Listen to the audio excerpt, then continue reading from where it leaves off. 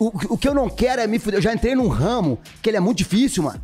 E eu tô nele, eu tenho longevidade na música já. Então eu não posso dar um mole desse, mano. Desde 2001 eu já pensava assim, ó, nunca assina porra nenhuma de ninguém. Botar um papel pra me assinar que eu vou ter que ler 20 vezes. Eu quero entender o que é que você quer que eu assino. Porque eu não vou fazer isso, é a única coisa que eu tenho, mano. Meus netos, de repente, vai ganhar dinheiro com essa porra. De repente eu nem ganho agora, mas eles vão, entendeu, cara? Sim. É a minha herança pra deixar pra alguém. Meu pai não me deixou nada, mano. Tadinho, era pobre também. Entendeu, brother? Então eu não vou deixar, mano, vagabundo tomar o que é meu, tá ligado? Acho que é, é falta.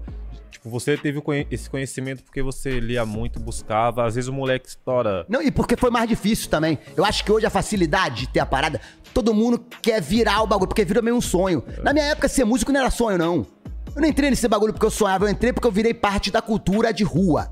É a cultura que mudou o meu jeito de ser e de pensar, tá ligado, irmão? Eu era aquele cara que era assim, ó, por que, que eu sou tão merda? Por que, que tudo pra mim é pior? Por que, que as pessoas me tiram pra menos? Porque eu sou pobre? Então eu sou isso, eu sou é, induzido a achar que eu sou esse, esse cocô do cavalo do bandido. E o rap, ele me devolveu o meu orgulho e meu autoconhecimento de falar, não, mano, eu sou foda pra caralho, o quer ser eu, porra.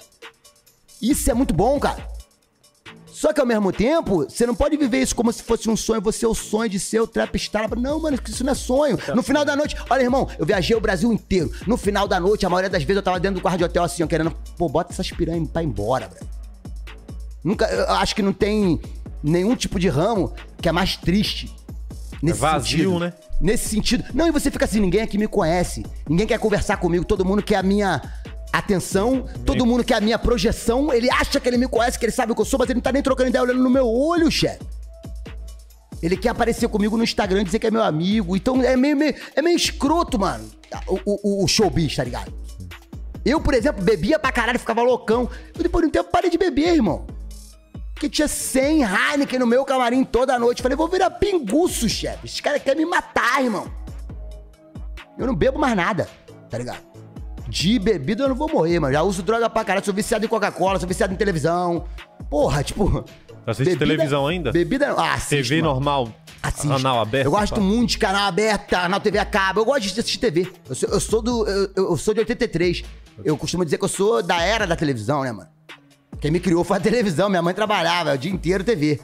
Entendeu? Eu assisto TV, assisto hoje em dia TV a cabo, mas assisto Discovery Channel, Você acha que a TV Channel, vai sou- sobreviver? Eu acho que o, o YouTube é um, modo de TV. Não, mas você acha- que tipo, a Globo vai sobreviver mais alguns Não, anos? eu acho que vai fragmentar. Vão ser cada vez mais assim, vai ser a TV Mascarenha. Vai ser a TV Cometa Podcast. Vai ser. As TVs elas vão se diversificar nesse sentido. Vai ser cada vez menor a parada. Porque o custo ficou menor. Antes, pra você fazer um bagulho desse aqui, só a Globo tinha o- a infraestrutura, mano. Aí que tá, tá ligado? Hoje não, você pode fazer TV. Você já tem tua TV, irmão. Tu tem teu canal de TV. Tu acha que a TV vai continuar? Vai. Já tá continuando. O Cometa é um canal, bro. Não, sim, mas eu falo, tu acha que a TV, a TV mesmo vai cair? do jeito que ela está, ela não existe mais já. Vai cair, pô. Até porque hoje em dia os aparelhos de TV já con- conectam à internet. Então a TV cada vez mais vai ser a TV menor. Ela vai, ela vai Cada mini estúdio. Mas você, tipo, a Globo, ela tava pá, e do nada ela, porra, o que que nós vai fazer? Vamos lançar o Big Brother com celebridade. Aí, tum, bateu o recorde que nunca bateu, Sim. não. E aí os caras. lembro dessa época. Não, agora, né? Esse último Big Brother aí. Sim. Aí os caras botou ah, o Google Play, que tem mais assinantes que a Netflix por causa Ai. do Big Brother. Não, e vou te falar, mano, é, é, esse bagulho aí, por exemplo, Big Brother. Ano que vem, mano, nenhum artista mais vai querer entrar nessa porra. Ah, Porque fudeu a carreira da Carol. Mas, ó, mas o. Não, mano, olha só. Ela tinha muito mais antes dela sair, cara. Tipo, Não, é ele, Projota, um monte se lascou. Mas aí já fez a Fazenda, já foi um monte de famoso agora. Nego do Borel, mano, não sei quem. Mas aí é que tá, cara. É, é, Você acha que o Nego do Borel, a prioridade dele é musicalmente falando? Pode Nós estamos na era do- do- dos influencers. mídia, né? É, e não é, não é, não é, é de- desmérito, não. Sim. Só que ele vende outra coisa. Tá? Não só a música.